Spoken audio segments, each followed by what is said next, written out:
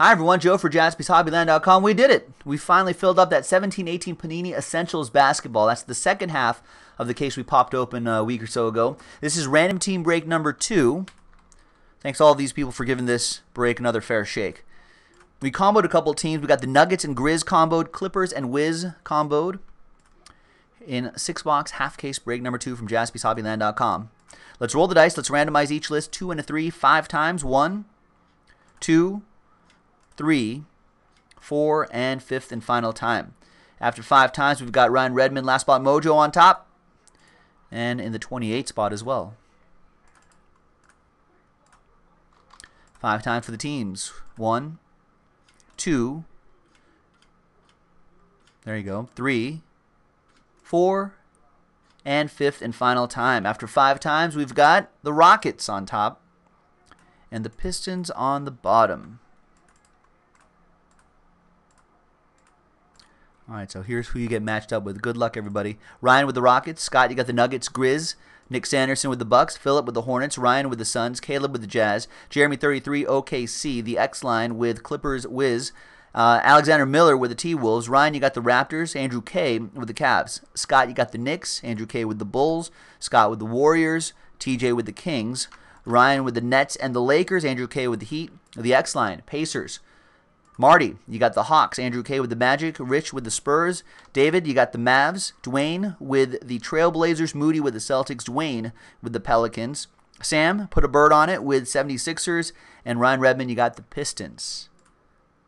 New home of uh, Dwane Casey, right? I think he just got. Is that his name? the former, the guy who won Manager of the Year.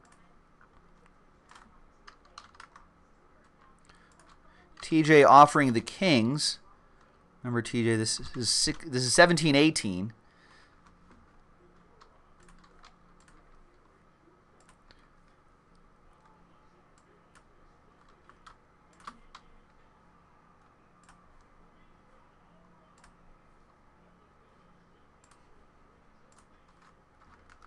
Here are the boxes right here. Remember, I marked them RT2. Or maybe TJ is trying to go for that try to trade, couldn't trade mojo.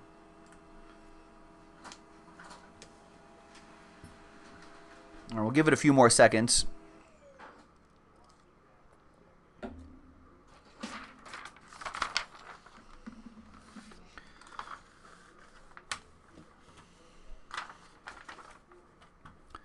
No? No trades? No trade offers? No one's taking up TJ on the Kings. Trade window closed. All right, here we go. On a Tuesday, Essentials Basketball, number two. Thanks all these folks for getting in. This is the official printout. And good luck.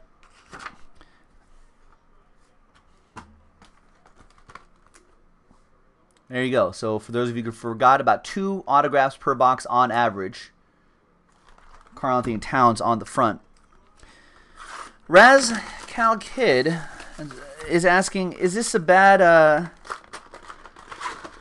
is this a bad century to be an NBA fan? I mean, do you do you think dynasties ruin it for the fans? I don't think did people care when I don't know. I mean, I honestly don't know. Did people care when the Celtics and the and the Lakers were battling in the 80s and it was just them? Sixers Celtics in the 70s? Bulls in the 90s. I don't think people care about the dynasty ruining it for fans. So it's not, I don't think it's the Warriors that's the problem.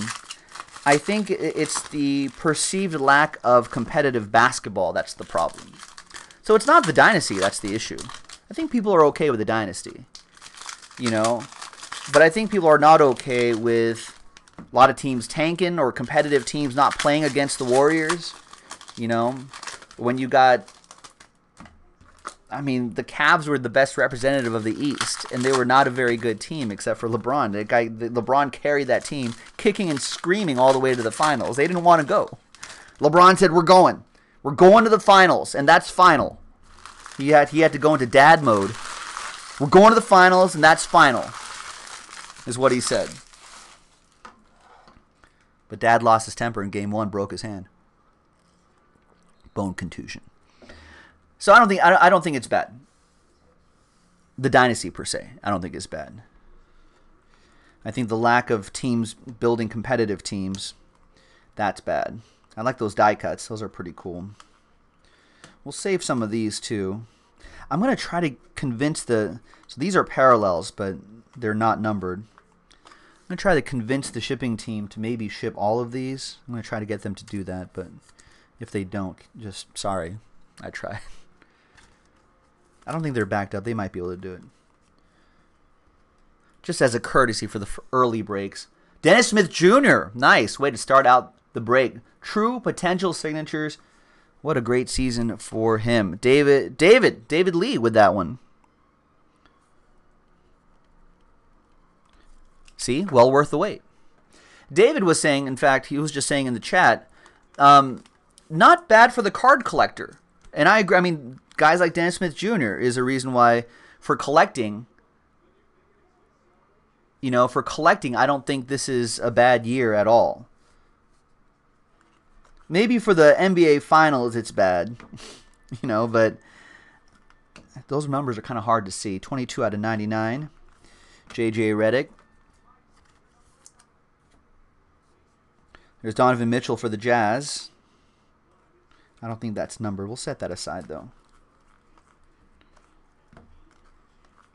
There's a cool design to this. I'll bet this is going to look a lot better in person when you get this stuff, folks. I think these are one of those sets where it'll look okay. There's Kobe. It'll look okay on camera. It'll look even better when you get it. 42 out of 40 uh, out of 99. Marcus Morris for the Celtics. But the hobby, hobby wise, I feel like this season's been fantastic. There's Kadeem Allen, 19 out of 25 true potential autographs. That's what your Dennis Smith Jr. is going to look like. Well, it is like Revolutions, David Lee, but but better. I think. I'm. I mean, I wasn't the biggest fan of Revolution.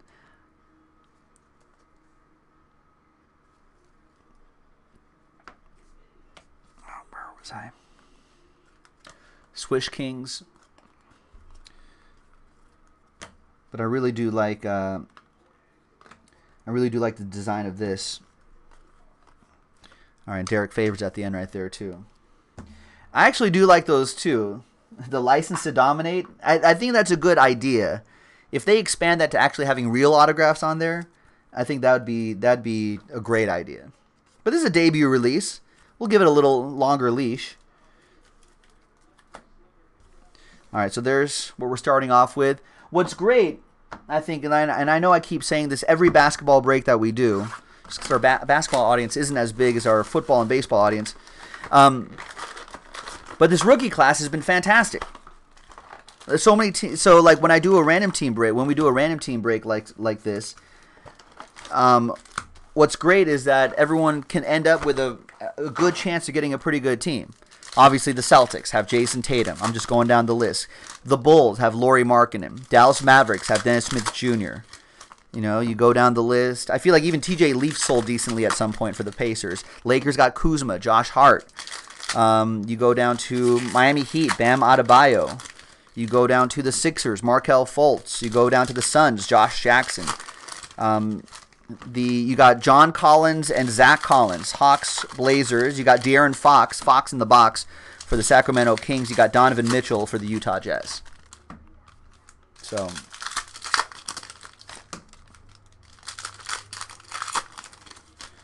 So that's a lot of opportunities to get a lot of decent teams. Yeah, Jared Allen, right? Jarrett Allen for the Nets.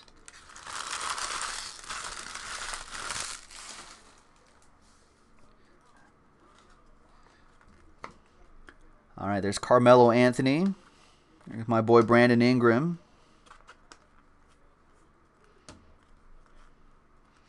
And there's Kent Bazemore, 98 out of 99. There's Kyle Kuzma. Josh Hart as well has been a revelation. And there's, wow, call to excellence, Will Perdue. When's the last time we saw Will Perdue autograph? That goes to the Bulls. Andrew K with the Bulls. I feel like Will Perdue, underrated. Underrated part of those Bulls teams.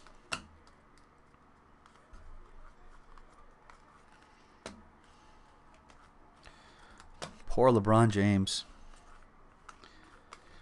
Where does he go? Where does he end up?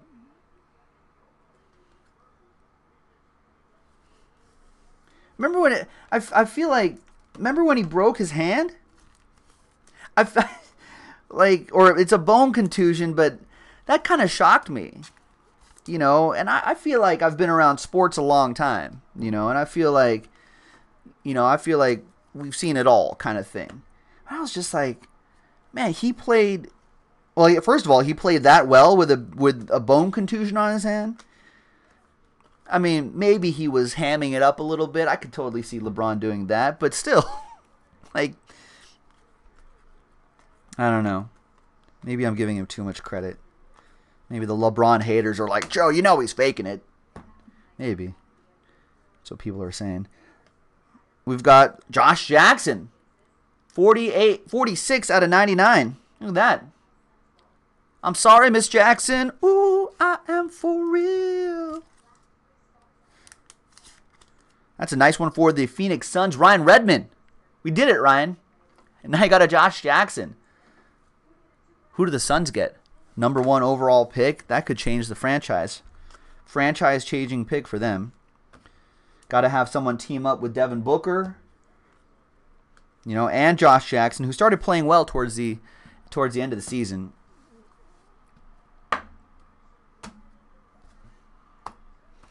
All right, next one. John Cards is saying to wait as long as LeBron did to announce it. Yes, we called an excuse, but waiting as long as he did,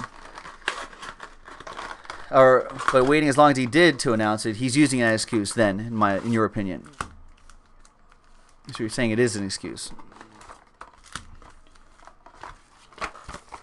I mean, it is. I mean, he shouldn't. You're the star player. You should not be throwing punches at at whiteboards and I think people were saying, I think who was who was saying this? Someone was saying earlier on on LA Sports Radio. I think it was O'Shea Jackson Jr. Ladies and gentlemen, everyone knows O'Shea Jackson Jr. Right? Look it up. Um, but he he does local radio every once in a while, and he was saying, listen, I don't. He's like, I haven't been in a lot of locker rooms, but I've been in enough where I know that aren't those whiteboards usually posted to a brick wall, to a cinder block wall? They're not on a easel most of them aren't. Not in professional basketball. It's not like high school. I, I think most high schools probably have them in a wall. So you punch the wall basically instead of J.R. Smith's face after after game one.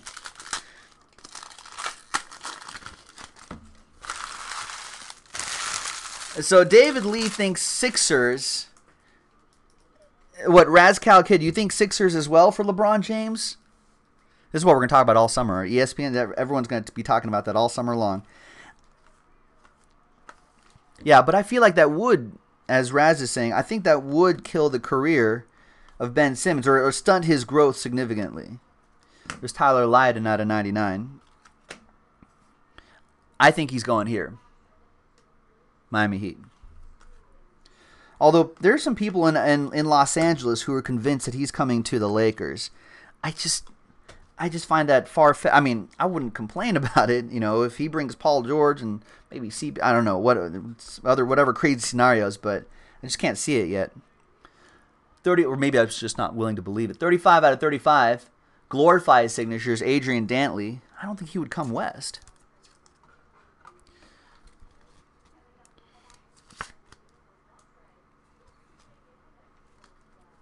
So Moody says he thinks if he wants to win the title, the one team which appeared able is Houston.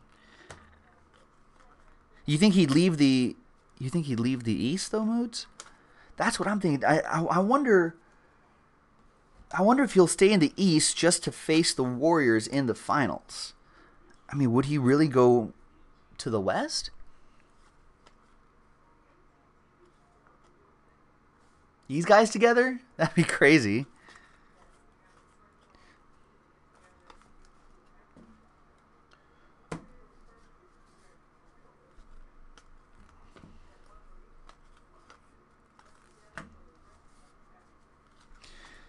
You think he's ready for retirement, Rascal Kid? Dave Cowens, 85 out of 99 for the old school Celtic. That goes to that goes to Moody. There you go, Mood.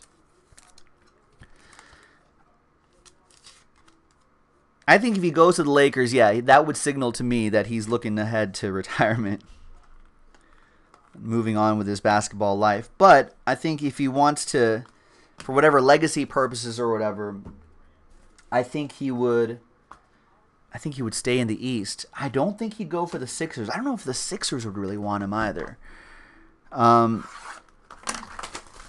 but I think the Miami Heat. I, I, keep moving toward. I keep going for the Heat. Dwyane Wade is there. They got a good young team. He's got a coach that he trusts, and he's he. If Pat Riley can mend fences with Dwyane Wade, he can mend fences with with LeBron. If there's even any to mend, really. I think the bigger beef was between Dwyane Wade and Pat Riley, but you know, Spoelstra knows how to coach that team. You know, so like and they've I think they've got cap space to kind of move people there. You know, I, th- I think they could make something happen down there. His family likes it there.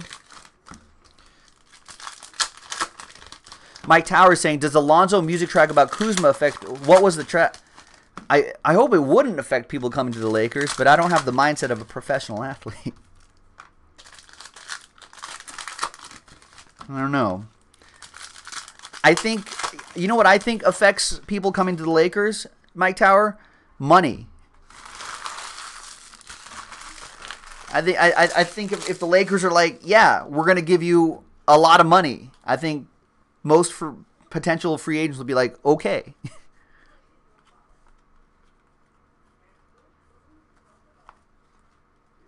I don't know. John John is saying that you wouldn't want him on your team.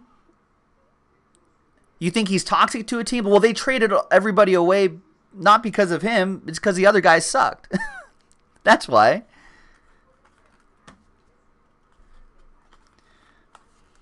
I think that's why they got traded away. Because they were not very good. it's not like they were like these stars that were contributing and then LeBron's like, I don't like them. Let's trade away. Let's trade them away. There's Edmond Sumner true potential for the Pacers. That'll be for the X line.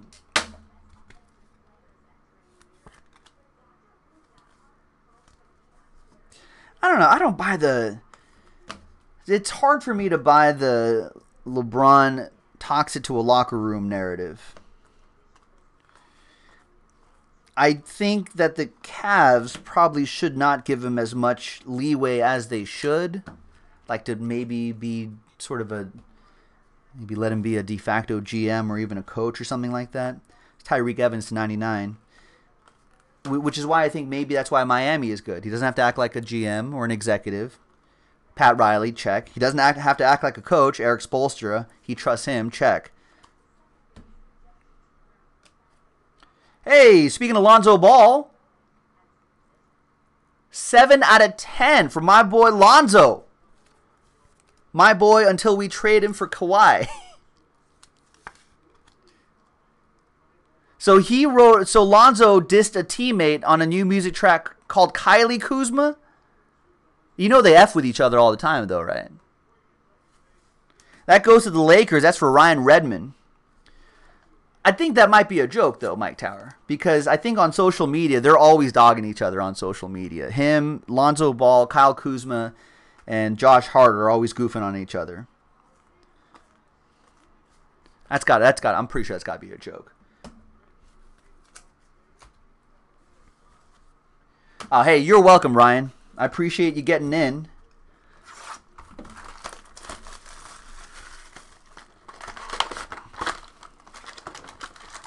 And Moody's saying LeBron a leader. He's not going to sit back. But I but I, I, I, sense Moody that you're saying that in more of a positive way, right? Not not that he's he's toxic. I don't see I don't see him as a, I don't see the toxic narrative as much as what John was suggesting. It'll be interesting. I mean, this this will be the talk of the summer. Where is LeBron gonna go? Where's Paul George gonna go? Where is CP3 gonna go? What's Houston gonna do? I actually think it's going to be actually a very entertaining offseason.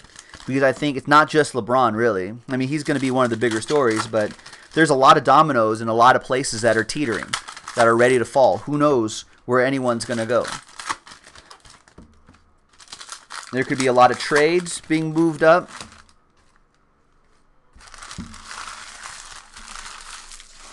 Ah, there you go. See, Moody, I, I think I'm, I'm think I'm on your page about that.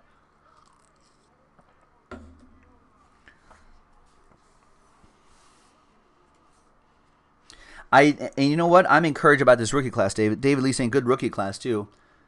I've heard of this guy, Bill Russell, 74 out of 99 from Moody. I feel like Moody every every time Moody chimes in with a comment, a hit pops out. Moods. Look at that. That's not bad. Nobody wanted to do essentials. Lonzo Ball in there, Bill Russell in there. Yeah, people are saying that this upcoming rookie class um, should be, could be as good as this rookie class that we're breaking right now.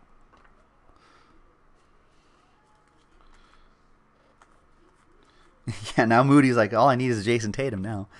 There's Davon Reed, 90 out of 99 for the Suns, rookie autos. For Phoenix, that goes to Ryan Redmond.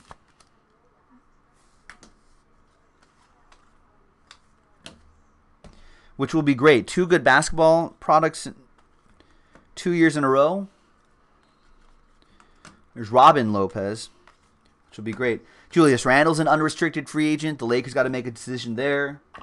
They've got cap space for two max guys. They've got a lot of guys who are on expiring deals. You know, what's Lonzo's development going to be? Is he working on disc tracks more that he's working on his jump shot? I think Lonzo will be fine, but I mean, there's a lot of decisions that, that the Lakers are trying to figure out what to do.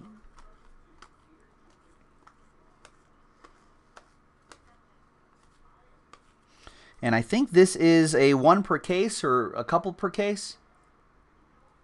I think these are really short printed, but I like the direction they're going with this. That's Aaron Gordon. I think David Lee was saying that some of these actually sell pretty decently on a secondary market. I think in future years we could see the actual autograph right here. It's a nice touch, though. That goes to um, the Magic. That'll be for Andrew K. All right, last box coming up. Last two autographs. Good luck, everybody. Excuse me. It's too early in the week for me to start losing my voice. Um, I like this question. Mike Tower has a good question. Good basketball question here. Which 17 18 rookie from this class right here, which 17 18 rookie benefits the most from having a good 18 19 rookie added to their team? Hmm. Um, Dennis Smith Jr.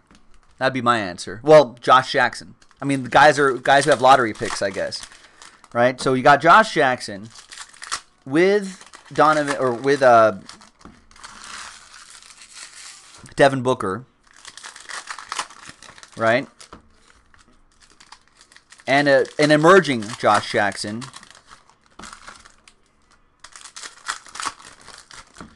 I think that's going to be a pretty big deal. They got the number one pick. That's got to help Josh Jackson the most.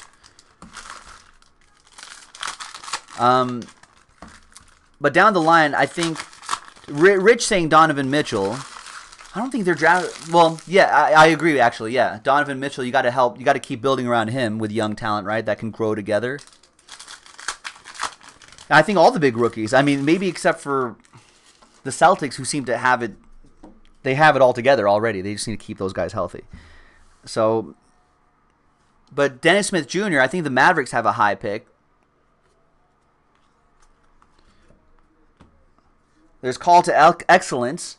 Brian Scalabrine, 16 out of 49. It's another one for Moody. Not quite the Tatum he was looking for, but another old school Celtic there. Um, I, I think Dennis Smith Jr. was also because Here's Lauri Markkanen. Um, I'll save one of those too because they've got a kind of a high pick. They got to they got to start building around Dennis Smith Jr. They got to start reconstructing that team around what looks to be a future star in Dennis Smith Jr. Yeah, De'Aaron Fox right there. Insert indispensable rookies insert. They got to start building around him. He looked pretty good.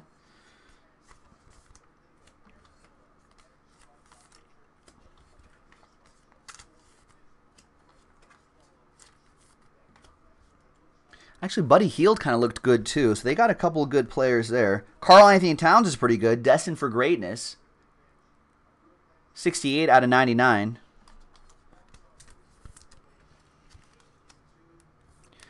Do they trade Andrew Wiggins? Maybe put some more running mates next to uh, Karl-Anthony Towns. That goes to the Timberwolves. Alexander Miller on the board. Could trade him. I don't know. It's, it's going to be a crazy uh, Crazy offseason. There's Denzel Valentine to 99. There's George Hill for the Cavs.